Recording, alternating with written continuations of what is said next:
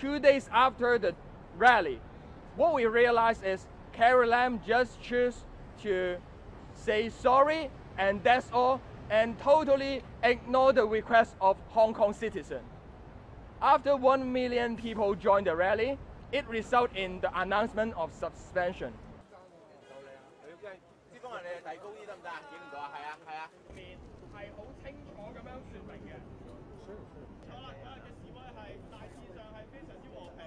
Now, she do not care at all. I would say that it's time for a lesson.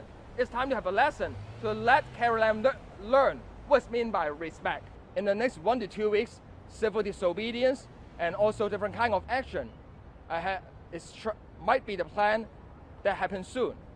What we mean is, for this movement compared to the umbrella movement five years ago, is more leaderless, and also it become more organic. At the same time, more decentralized.